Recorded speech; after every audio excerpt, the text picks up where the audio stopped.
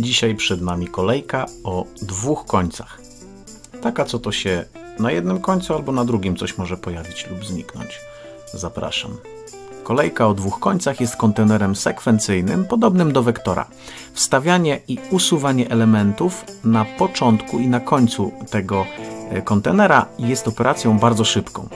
Natomiast gdy wstawiamy coś e, lub usuwamy ze środka, następuje unieważnienie wszystkich iteratorów do elementów, a do tego ta operacja jest no, wolniejsza niż to wstawianie, usuwanie z początku i końca, czy z po prostu dwóch końców e, naszej kolejki.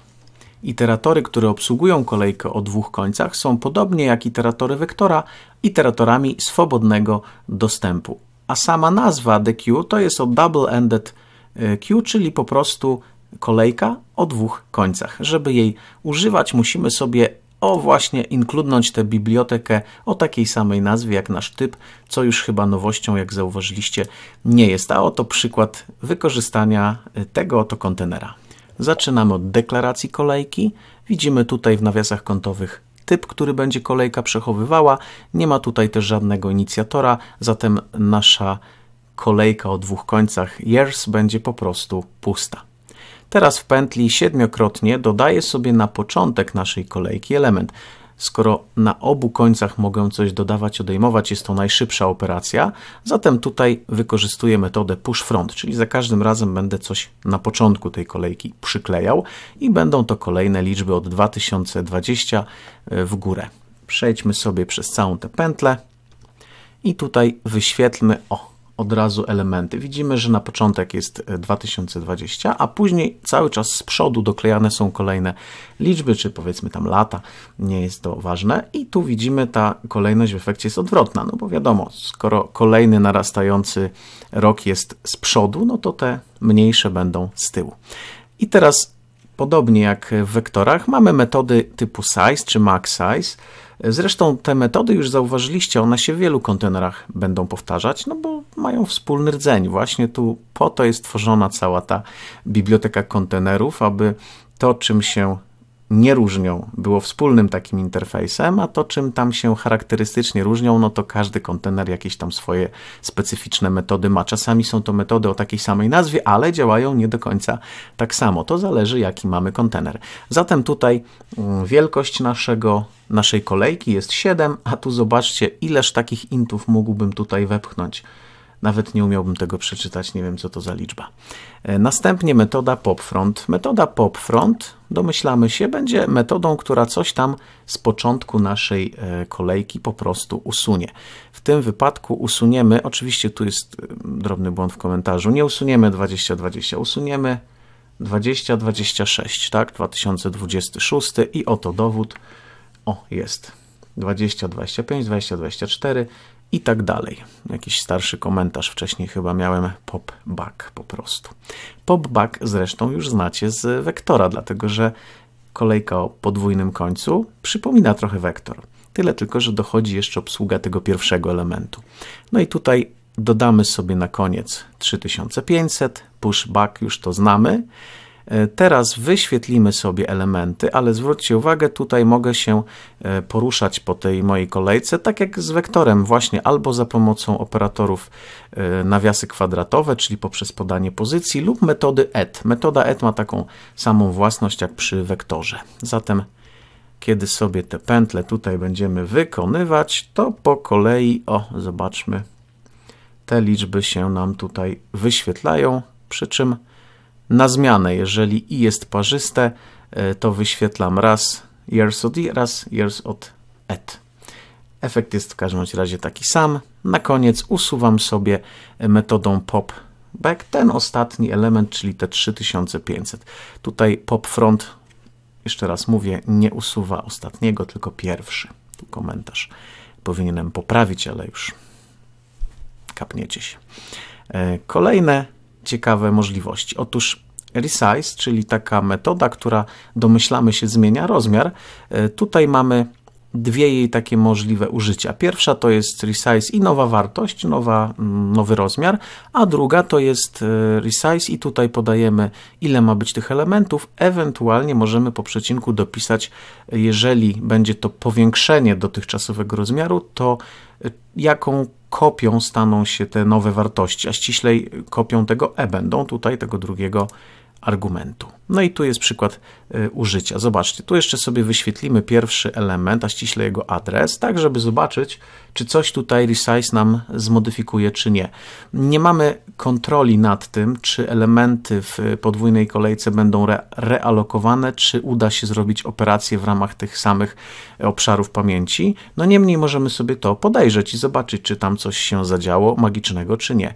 Tutaj już zwiększamy dotychczasową ilość elementów o 5 i wyświetlmy sobie ten e, nowy, nowy kontener. Zobaczcie, że zostało to oczywiście zwiększone i zostało to zwiększone poprzez dodanie do końca kolejki pięciu elementów i te elementy domyślnie są takim e, intem równym 0, bo konstruktor e, wartości int, jeżeli nie jest określony, to przyjmuje domyślnie 0.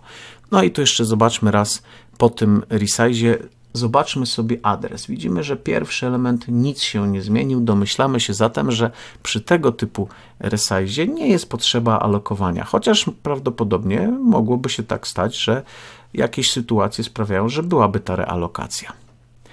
Zobaczmy więc następne metody. Teraz wstawimy sobie do środka za trzecim elementem i jedyneczkę, taką zwykłą liczbę 1. I tu użyjemy metody insert.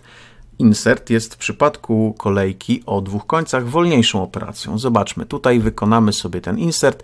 On ma mniej więcej taką składnię, ponieważ e, kolejka ma iteratory o swobodnym dostępie, to znaczy, że mogę sobie tutaj pobrać iterator pierwszego elementu, Pamiętamy z wcześniejszych zajęć, czym jest metoda begin. Podobnie jak w przypadku wektorów, zwraca nam iterator na pierwszy element i ten iterator przesuwam sobie o trzy iteratory e, dalej, czyli tak naprawdę przesunę sobie tutaj za trzeci element, powiedzmy, że na czwarty. I wstawiam jedynkę. Teraz printnijmy to i to zobaczcie, mamy 25, 24, 23 i tam, gdzie był dotychczasowy czwarty, pojawia się jedynka, pozostałe idą już tak, jak były. Czyli ta jedynka tak się wepchnęła tutaj. Jak sobie wyświetlimy jeszcze raz pierwszą pozycję naszego elementu z naszej tablicy, zauważymy jedną rzecz. Mimo, że teraz no, pojawia się coś tutaj w środku, to już nastąpiła jakaś, widzimy, zmiana. Pierwszy element już nie leży tam, gdzie leżał, czyli na przykład ten resize mm, w naszym akurat przypadku niczego nie realokował, nic tu się nie pozmieniało, ale już tutaj widzimy, pamięć się zmieniła, zatem te nasze iteratory, gdybyśmy je mieli, też już pokazują na inne obszary w pamięci. Kolejne użycie metody insert, tym razem troszeczkę inaczej postąpimy. Zobaczcie, weźmiemy sobie y, iterator za ostatnim elementem, przypominam, end to właśnie robi, nie zwraca iteratora na ostatni, ale miejsce za ostatnim pokazuje. I tu cofniemy się o trzy iteratory wcześniejsze, czyli przejdziemy o trzy elementy jakby w kolejce e, do środka kolejki i tam sobie wstawimy, zobaczcie, pięciokrotnie minus jeden.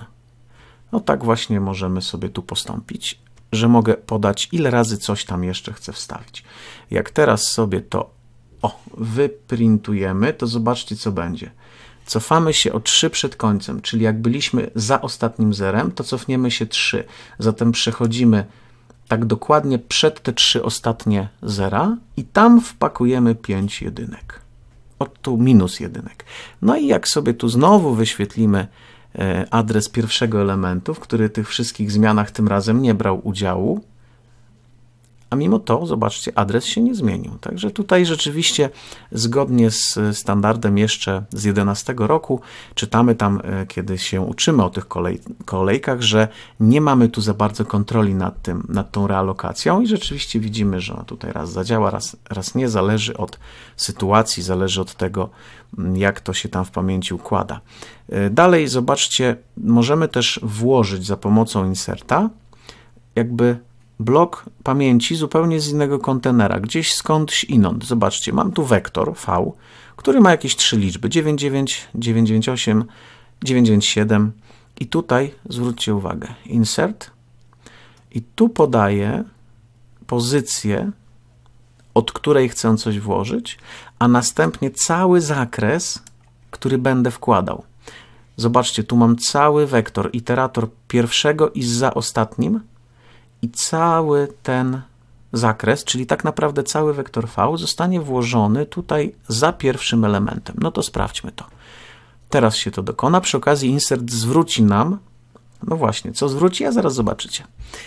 Wykonaliśmy ten insert. Wyświetlmy teraz sobie nasz y, kontener, nasze lata i co tu mamy. Przyjrzyjmy się, jak to wygląda w stosunku do wcześniejszego wpisu. Między 20, 20, 2025 a 2024 pojawiły się te trzy wartości 999 i tak dalej. Cały ten wektor tam się pojawił.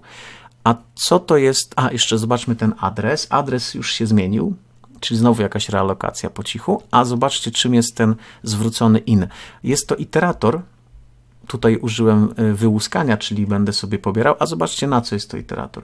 Jest to iterator na miejsce, w którym cała ta zawartość od vbegin do vend została wstawiona. Czyli jest to to miejsce, gdzie ten nowo wstawiony blok Mm, właśnie się pojawił. Czyli mam iterator na tę pozycję. Stąd in jest 999, bo to jest te miejsce.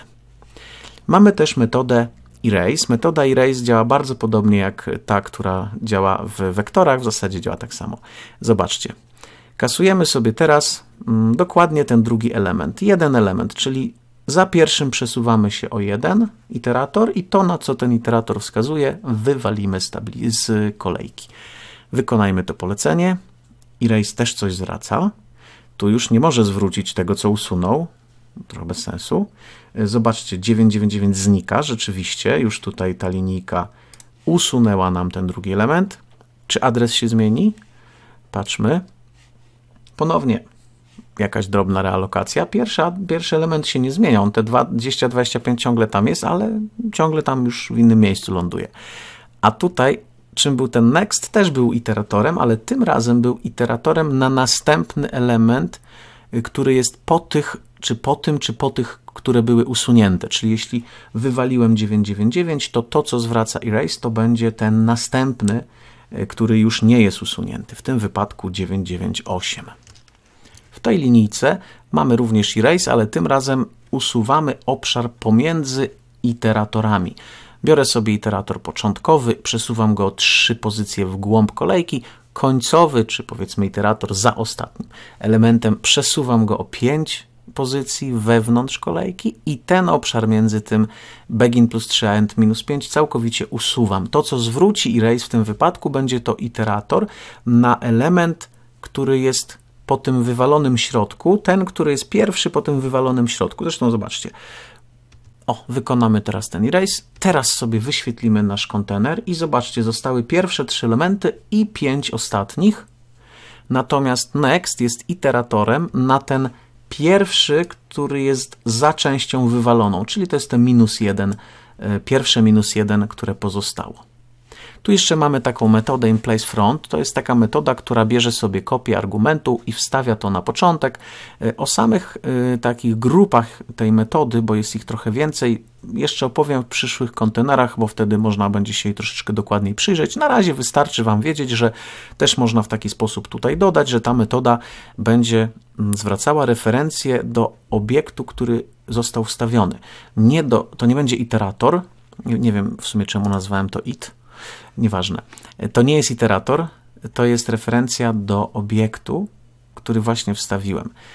Oto dowód. Jeżeli tu sobie wezmę auto, też referencję i wykonamy ten in place front i tutaj sobie wyświetlimy samo it, zwróćcie uwagę, nie muszę tu żadnego operatora wyłuskania używać, używać bo nie jest to iterator, chociaż nazwałem to it. Jest to referencja do tej setki. ok? Co więcej, jeśli zmodyfikuję teraz tę zmienną it, o tutaj utworzoną, to zobaczcie, w kontenerze też ta pierwsza pozycja nie będzie już setką, a dwusetką. No tak, no bo zwróciłem referencję, zatem modyfikacja zmiennej it modyfikuje ten, samo, ten sam obszar pamięci, zatem zmodyfikuje to, co jest w kontenerze. Kolejka o dwóch końcach za nami. Jeszcze trochę tych kontenerów zostało. Zresztą jeszcze dużo rzeczy zostało. Już teraz na nie zapraszam.